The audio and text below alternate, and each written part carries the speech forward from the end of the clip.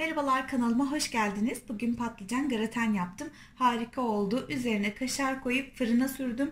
Hem çok pratik hem de çok hafif bir yemek. Yemeğimiz böyle. Kaşarlar üzerinde eridi. Harika görüntüsü. Patlıcan sevmeyenlerin bile çok severek tüketeceği bir yemek.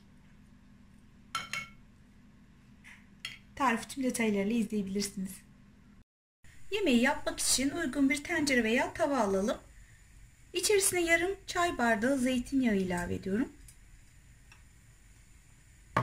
Bir tane küçük soğan doğradım. Yemeklik doğrayalım. Önce soğanımızı bir kavuruyoruz.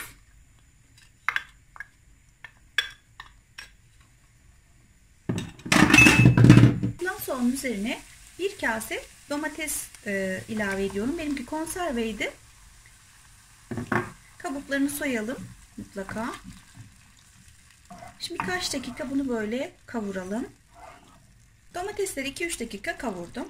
Şimdi önceden küp küp doğradığım ve tuzlu suda beklettiğim patlıcanları içerisine ilave ediyorum. Şöyle bir 10-15 dakika tuzlu suda bekletin. Kararmasın hem de acı suyu çıkıyor.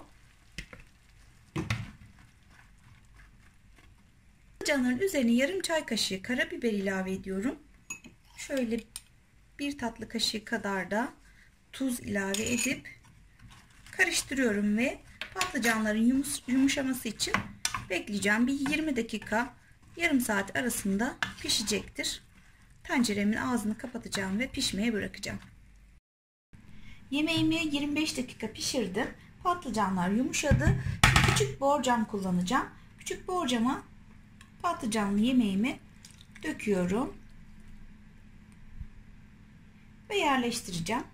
Yemeğimin üzerine şöyle kaşar yerleştiriyorum. Fırınımı açtım 180 derecede. Önceden ısınıyor. Her tarafını kaplayalım. Kaşarları yerleştirdim.